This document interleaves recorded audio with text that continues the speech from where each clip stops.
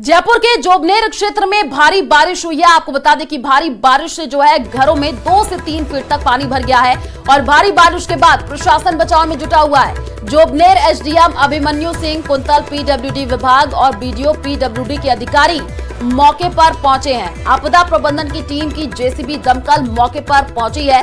प्रशासन द्वारा रात भर पानी निकासी निकालने की कोशिश। तो ये बड़ी जानकारी आपको दे रहे हैं जयपुर के जोबनेर से, जहाँ पर दो से तीन फीट तक पानी भर गया। लोगों को काफ़ी समस्याओं का सामना करना पड़ रहा है। पानी निकालने की जो कोशिश है, वो भी की जा रही है। जयपुर के जोबनेर क्षेत्र में भारी बारिश हुई है।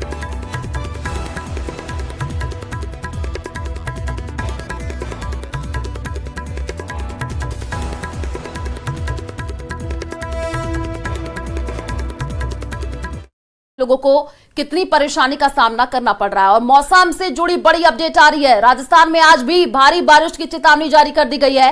दो जिलों में ऑरेंज अलर्ट जारी किया गया है और प्रदेश के 20 जिलों में येलो अलर्ट जारी किया गया है। कई जिलों में जो है स्कूलों की छुट्टी की घोषणा भी कर दी गई है। इस वक्त की ये बड़ी जानकारी आपको दे रहे हैं, जहाँ पर भारी बारिश को देखते हुए चेतावनी जारी कर दी गई है। दो ऐसे ज़िले हैं जहाँ पर ऑरेंज अलर्ट जारी किया गया है और प्रदेश के 20 ऐसे ज़िले हैं जहाँ पर येलो अलर्ट जारी किया गया है। और स्कूल जाने में जो है काफ़ी लोगों को दिक्कतें बच्चों को दिक्कतें तस्वीरें भी आई थी। आ, इसी पानी में जो है बच्चे अपनी जान जोखिम में डाल करके स्कूल जा रहे थे तो कई जिलों के स्कूलों में छुट्टी की घोषणा भी कर दी गई है।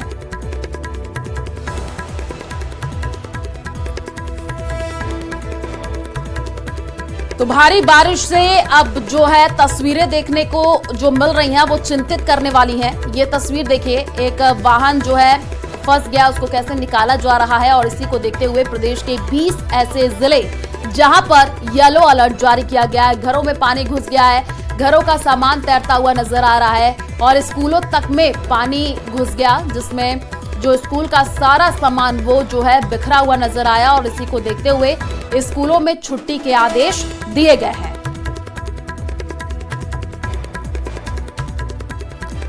तो भारी बारिश से बुरा हाल है। अलग अलग जगहों से जो तस्वीरें देखने को मिल रही हैं, वो चिंतित करने वाली हैं। और मौसम विभाग ने जो है अलर्ट भी जारी कर दिया है। लोगों से यही अपील की जा रही है कि ज़रूरी हो तभी घर से बाहर निकले। और अलग अलग जगह से तमाम रिपोर्टर्स हमारे साथ लाइव जुड़े हुए हैं। राकेश शर्मा जयपुर से हमारे साथ लाइव जुड़े हुए हैं और साथ ही साथ और भी रिपोर्टर्स हमारे साथ जो है, जुड़े हुए हैं, उनका रुख करेंगे। सबसे पहले राकेश का ही रुख कर लेते हैं। राकेश अभी जयपुर का क्या हाल है? बैकग्राउंड में आप जरा दिखाइए, क्योंकि रोड पर जो है समस्या देखने को मिल रही है, जलभराव की स्थिति देखने को मिल रही है। जरा तस्वीर दिखाइए। बिल्कुल देखिए अब इस बार चूँकि प्रकृति मेहरबान हुई है अच्छी बारिश पूरे राजस्थान में देखी जा रही है। राजस्थान को बारिश की बेहद ज़रूरत भी है क्योंकि राजस्थान देश के उन तीन राज्यों में शामिल है जहाँ पर पानी की सबसे विकट स्थिति है। लेकिन इस बार आ, सरकार ने जो पैसा दिया था और वो पैसे के बाद में आ, इस बारिश ने आ, पूरी पोल खोल दी है। हम दिखाना चाहेंगे इस वक्त हम वीर तेजा जी, मार्ग, ये सर्किल है, यहाँ इस सर्किल पर, ये चूँकि मुख्यमंत्री का इलाका है, यहाँ ये सड़कें नई नई बनी हैं, इसमें बहुत गहरे गड्ढे हो गए हैं, और कल यहाँ झमाझम बारिश जब हुई थी तो यहाँ पर लंबा ट्रैफ़िक जाम लग गया, आसपास के जितने भी जो घर हैं, उनके, चाहे वो बेसमेंट हो या ऊपर का जो फ्लोर है, वहाँ पर इन घरों में, तमाम घरों में पानी भरा है और सभी लोग मड पंप लगा करके पानी को निकालने का प्रयास कर रहे हैं। हम दिखा सकते हैं कि जिस तरीके से सड़कों में जो गड्ढे हुए हैं, ये निश्चित तौर पर बारिश के दौरान कई बार जानलेवा साबित हो जाते हैं और जो जिम्मेदार अधिकारी हैं, चाहे वो नगर निगम के हो, जेडीए के हो या और दूसरी एजेंसी हैं, वो उनको इनसे कोई ले देना नज़र नहीं है। हम देख सकते हैं कि यहाँ पर जो ट्रैफ़िक पुलिस के जो वो बैरिकेड्स लगा करके इन गड्ढों की जानकारी दी गई है, इस बारिश में किसी तरह की दुर्घटना ना हो। इस तरह के लिए जो जिम्मेदार विभाग हैं, ये गड्ढे भरे, इनमें कट्टे डाले जाएँ या इनको किस तरीके से किसी हादसे को टाला जाए, उस तरह के प्रयास यहाँ पर कहीं नज़र नहीं आ रहे हैं। सड़क पर पानी भरा हुआ है जगह जगह गलियों में घरों के सामने पानी भरा हुआ है तो अब उससे हालात जो है दुर्घटना के साथ साथ अब बीमारी और महामारी के भी हो सकते हैं, क्योंकि लगातार कई दिनों से बारिश जारी है और बारिश के कारण जो पेयजल आपूर्ति की जा रही है, जो पाइपलाइन है, उन पाइपलाइनों में भी जो बाहरी पानी है, दूषित पानी, वो मिक्स होकर के जा रहा है। कल जयपुर के तीन पंप हाउसों में पानी भर गया था। मड पंप निकाल करके उन पानी को निकाला, यानी जो पेयजल आपूर्ति हो रही है, वो शुद्ध नहीं है। ऐसे में दिमागी बुखार पेट, हैजा और पेचिस जैसी कई गंभीर बीमारियाँ जो जानलेवा साबित हो सकती हैं, उनके फैलने के आसार बढ़ गए हैं। हम जयपुर के अलावा तमाम जो पहाड़ी इलाके हैं, चाहे हिंडौन, करौली, गंगापुर, भरतपुर, जोबनेर, जहाँ बूंदी, पाली, जहाँ जोरदार बारिश हुई है, उन तमाम इलाकों के हालात ऐसे हैं कि वहाँ पर ना तो स्वास्थ्य विभाग की टीम अलर्ट है, ना ही प्रशासन के वो आला अधिकारी जो मौसमी बीमारियों को रोकने का प्रयास कर सकें, क्योंकि बारिश के साइड इफ़ेक्ट के रूप में अब बहुत ज़्यादा मौसमी बीमारियाँ फैलेंगी, लोगों को चपेट में लेंगी, लेकिन किसी तरह की व्यवस्था वहाँ पर अभी तक नहीं की गई है। राजधानी जयपुर में इस बार एक हज़ार चालीस एम पिछले 25 साल का रिकॉर्ड टूटा है बारिश का और इस पानी की ज़रूरत इसलिए भी है क्योंकि लगभग 700 से 800 फीट जो भूजल का स्तर जयपुर में गिर गया है जो कि लगभग 200 के आसपास रहता था। आपका रुख करेंगे। दीपक हमारे साथ लाइव जुड़े हुए हैं उनका रुख कर लेते हैं। दीपक अभी फ़िलहाल क्या तस्वीर देखने को मिल रही है भरतपुर से? जरा दिखाइए। आपके बैकग्राउंड में लोग भी नज़र आ रहे हैं। बातचीत करने की कोशिश कीजिए। बारिश से उनको कितनी समस्याएँ झेलनी पड़ रही हैं? देखिए बिल्कुल बारिश के बाद लगातार लोगों को परेशानियाँ झेलनी पड़ रही हैं और नारकीय जीवन जीने को लोग मजबूर हो रहे हैं। हालात ऐसे हैं कि लोग अपने घरों से नहीं निकल पा रहे हैं और ऐसे में अब बीमारियों का डर जो है वो सता रहा है। लोग चिंतित नज़र आ रहे हैं। लोगों का कहना है कि प्रशासन को तमाम शिकायत करने के बावजूद भी ना तो कोई पानी की निकासी की गई और ना ही पहले से कोई इंतज़ाम किए गए। अब घरों के सामने पानी भरा हुआ है लोग घरों से नहीं निकल पा रहे हैं। मैं इस वक्त भरतपुर की पुष्प वाटिका कॉलोनी में मौजूद हूँ जहाँ के लोग पिछले दस दिन से इतने परेशान हैं कि वो घर से नहीं निकल पा रहे हैं, बच्चे स्कूल नहीं जा पा रहे हैं, ऐसे हालात नज़र आ रहे हैं। तस्वीरें देखिए आप कि किस तरह से यहाँ पर पानी जो है वो भरा हुआ है और ये एक मंदिर की परिसर की तस्वीर। है आगे चल करके मैं बताऊँगा क्योंकि पानी बहुत गंदा है और ऐसे में हालात ऐसे हैं कि यहाँ से फिसलने का जो डर है, फिसलने का जो डर है वो सबसे ज़्यादा बना हुआ है क्योंकि पानी का रंग देखिए आप, ये इतना जहरीला पानी है कि इसमें कीड़े मकोड़े और बीमारियाँ जो हैं वो उत्पन्न हो रही हैं। लगातार जो लोग हैं वो यहाँ के परेशान नज़र आ रहे हैं। लोगों से बात करेंगे कि किस तरह के हालात हैं। लोग यहाँ पर बहुत परेशान आ रहे हैं? किस तरह के हालात हैं आपके यहाँ पे? सर, हालात बिल्कुल नारकीय हैं और इस पानी में जो काई है इसमें इतनी बदबू आ रही है कि जीना दुमाल दुमाल कर रखा है। और सबसे बड़ी समस्या ये है कि पूर्ववर्ती सरकार के सामने हमने कितनी ही बार मिन्नतें की कि एक नाला है जो बीच में करीब 100 मीटर टूटा हुआ है। उस नाले की वजह से पूरे शहर के पानी का निकास इस कॉलोनी में बाईपास बना करके निकाला जाता है। जबकि ये जो प्रेम सिंह कुंतल जी का बाड़ा है, उसमें दो ट्रैक्टर लगा रखे हैं, वो अब पानी अगर वहाँ से रेगुलर निकले और इस नाले को बंद करा दिया जाए तो ये कॉलोनी बिमल कुंज और हमारे पास में पुष्पाटिका नई पुष्पाटिका ये सारी सूर्या सिटी सारी कॉलोनी को राहत मिल सकती है। पिछली वर्ष भी ये कहा था इस बार नाला हो जाएगा। उससे पहले भी ये कहा था लेकिन पूर्ववर्ती सरकार के कानों पे जू तक नहीं रहेंगी है अब क्या हालात हैं? आज- अब स्थिति इतनी नार की है कि कल शाम को हमारे पड़ोस में एक धोबी का मकान है। वो नाले के पास रहता है उसका बच्चा नाले में गिर गया उसको लेने के लिए उसकी औरत भागी वो गिर गई। बड़ी मुश्किल से कॉलोनी में बाय वेला मच गया। जब जाकर के उसको निकलवाया उसके बच्चे को।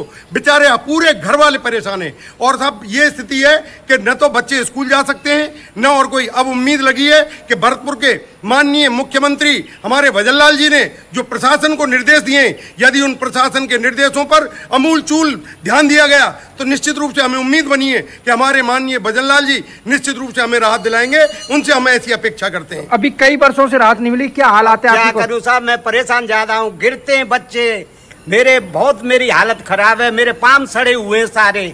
मैं पैरों से नहीं चला जाता है मुझ पे क्या करूँ? मैं नहीं बिल्कुल निकलूं। दीपक लोगों तो को कितनी परेशानी हो रही है लोग बता रहे हैं आपका रुख करेंगे टोंक से हमारे साथ दौलत पारिक जुड़े हुए हैं। दौलत मौसम विभाग ने कई जगह पर जो है ऑरेंज अलर्ट येलो अलर्ट जारी किया है। अभी टोंक में क्या तस्वीर देखने को मिल रही है? अगर आसपास लोग हों उनसे भी बातचीत कीजिए। पहले तो आप तस्वीर दिखाइए। आपके बैकग्राउंड में ही नज़र आ रहा है कि वहाँ पर जलभराव की स्थिति देखने को मिल रही है। देखिए, तस्वीर आपने देखी किस तरह से लोग पानी के अंदर से गुजर रहे हैं। टोंक में लगातार बारिश होने के बाद में स्कूलों की छुट्टी कर दी है। बारहवीं तक स्कूलों की छुट्टी कर दी है, लेकिन स्टाफ है वो लगातार स्कूलों में आ रहा है और ये एक जगह है, अंबिका नगर देवली रोड पर, जहाँ एक स्कूल है, प्राइवेट स्कूल, और इसके आगे यानी कि कॉलोनी है। लेकिन लोगों को इस पानी के अंदर से गुजरना पड़ रहा है। तीन फीट के करीब यहाँ पानी है। ऐसे में स्कूल आने वाले और कॉलोनी के तमाम जो लोग हैं इस पानी के अंदर से गुजर के जाना पड़ता। कुछ महिलाएँ हमारे साथ स्कूल की स्टाफ और कुछ लोग हैं कॉलोनी के, उनसे बात करते हैं। किस तरह की दिक्कत होती है इस बारिश के पानी की वजह से? आने जाने में बहुत परेशानी हो रही है। बहुत दिक्कत आ रही है। अब इधर से, अगर उधर चले जाते तो इधर आने में प्रॉब्लम हो रही है।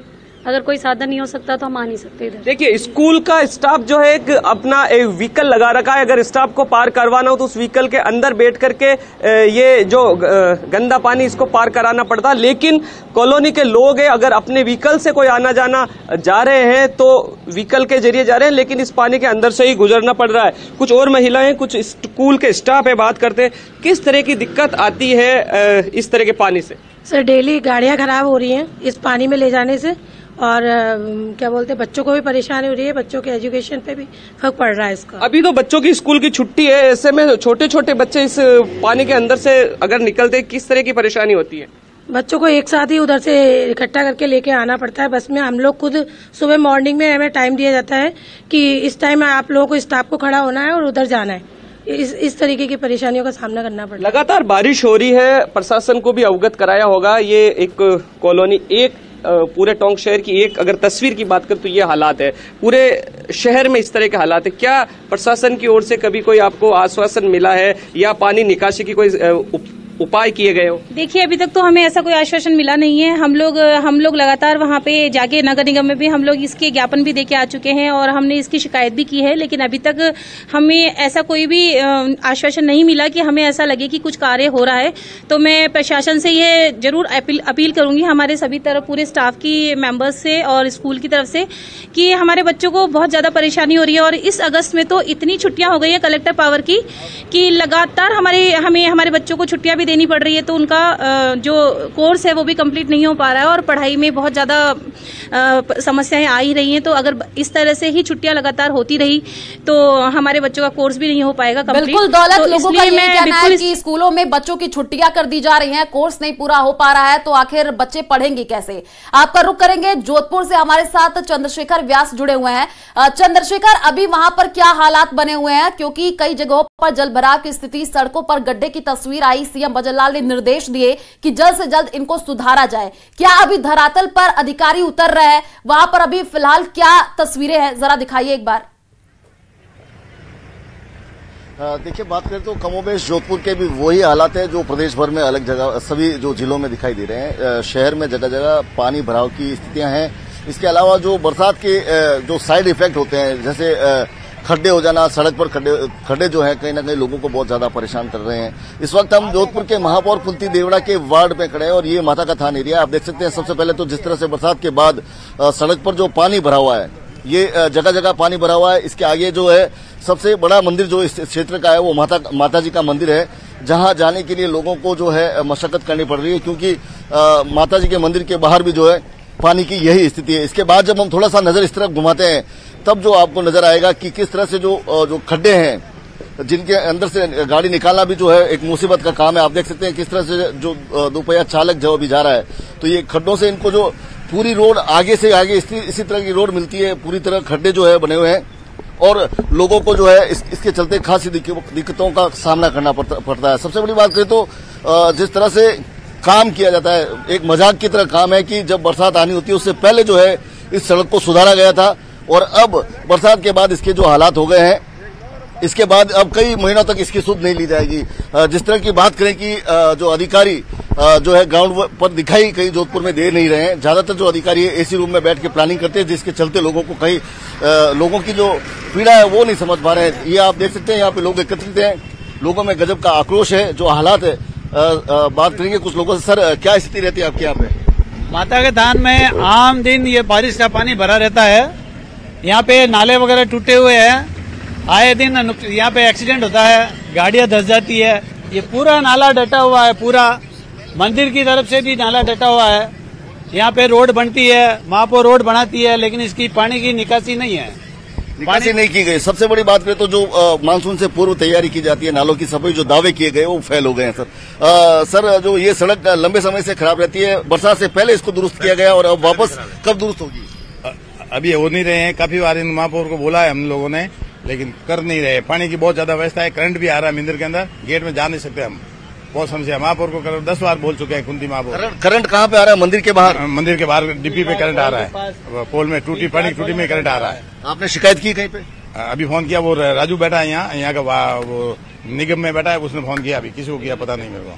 न- न- अभी तक ठीक नहीं हुआ नहीं हुआ अभी तक। एक घंटा हुआ उसने फ़ोन करता सर सड़क जो है जगह जगह से टूटी हुई क्या क्या दिक्कतें रहती है?